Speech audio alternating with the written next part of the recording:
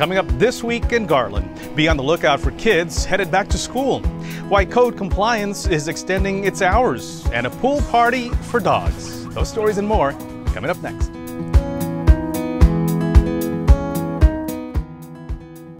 Hi everyone, I'm Saul Garza. Well, Garland ISD students start another school year.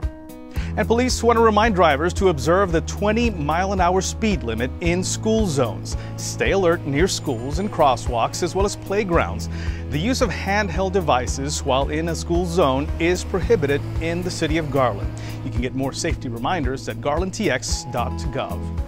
Charm, okay? And with the school year underway, don't miss this last minute chance to get your child vaccinated for the school year.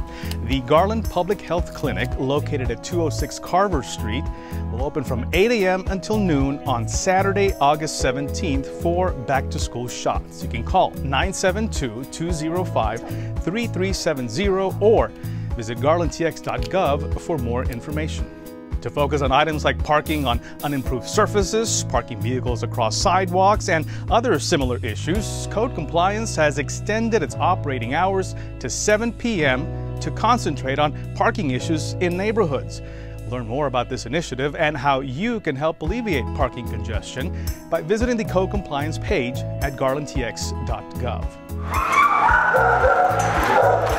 Garland Animal Services is joining 1,200 shelters from across the country in an annual effort to clear the shelters. Adoption fees will be waived for cats and dogs from 9.30 a.m. until 5 p.m. on Saturday, August 17th. You can learn more at cleartheshelters.com. It's time for Dogapalooza, Garland's annual pool party for dogs. It is happening from 1 to 5 p.m. on Sunday, August 18th at Holford Pool. Cost is $5 a dog and $1 human. There's unleashed swimming for dogs and their owners, pet services, and even a dog wash. You can find out more at garlandpaws.org.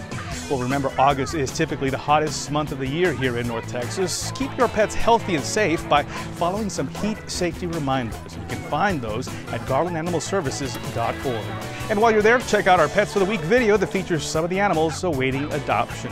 You can find this on social media on most platforms. You can also subscribe to our weekly Garland City Press briefs at garlandtx.gov and just click on the Notify Me button.